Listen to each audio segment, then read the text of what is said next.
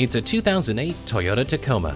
Features include a rear step bumper, rack and pinion steering, front tow hooks, and anti-lock brakes. Inside you'll find analog instrumentation, multi-speaker sound system, airbags, and more.